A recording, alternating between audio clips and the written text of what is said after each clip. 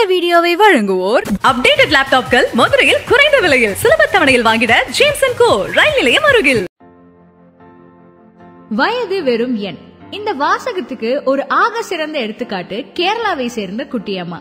Exam அப்படின்னா போதும். சின்ன வயசுல இருந்தே எல்லாருக்கும் எங்கிருந்து இந்த காய்ச்சல் வயிறு வலி வரும்னு தெரியாது. ஆனா கண்டிப்பா ஒரு தடவையாவது இந்த மாதிரி சாக்கு போக்கு சொல்லியிருப்போம். ஆனா தன்னுடைய நூத்தி நாலாவது வயசுல கேரளாவை சேர்ந்த குட்டியம்மா ஸ்டேட் லிட்ரஸி கோட்டயம் நடத்தின பேசிக் லிட்ரஸி எக்ஸாம்ல நூத்துக்கு எண்பத்தி ஒன்பது மதிப்பெண் எடுத்திருக்காங்க.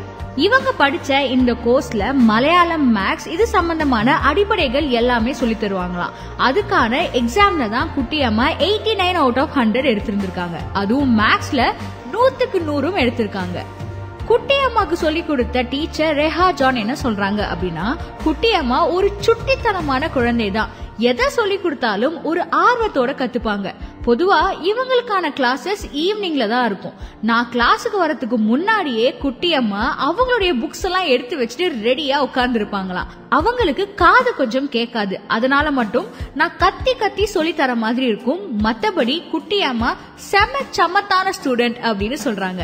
எக்ஸாம் எழுத போன அன்னைக்கு குட்டியம்மா இன்விஜிலேட்டர்ஸ் கிட்டக்க என்ன சொல்லியிருக்காங்க அப்படின்னு பாத்தீங்கன்னா நீங்க என்ன கேள்வி கேட்டாலும் கொஞ்சம் கத்தி கேளுங்க. விட்டுருங்க அப்பதான் என்னால பதில் சொல்ல முடியும் அப்படின்னு இன்விஜிலேட்டர்ஸ் கிட்டேயே சொல்லியிருக்காங்க. அதே மாதிரி ஒரு போயம் கொடுத்து அதுல இருக்கக்கூடிய முதல் நாலு வரிய பார்த்து படிக்க சொல்லியிருக்காங்க. ஆனா குட்டியம்மா தான் பயங்கர சமத்து பாட்டியாச்சே. மொத்த போயத்தையும் முழுசா படிச்சு காட்டியிருக்காங்க.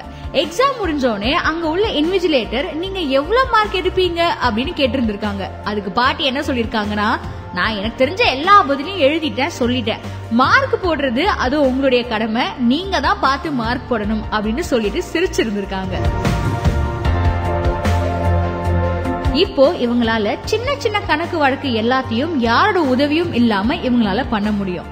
இன்டர்நெட் இவங்க மார்க் வாங்கினதை பார்த்து வியந்தாலும் இவங்க புன்னகை தான் பலருடைய கவனத்தையும் ஈர்த்திருக்கு. முடியாது அப்படிங்கிற வார்த்தை யார் வாழ்க்கையிலும் இருக்கவே கூடாது அப்படிங்கிறதுக்கு இவங்க ஒரு சிறந்த எடுத்துக்காட்டு. அருமை உடைத்தென்று அசவாமை வேண்டும் பெருமை முயற்சி தரும்.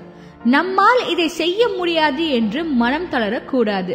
அதை செய்து முடிக்கும் ஆற்றலை முயற்சி தரும்.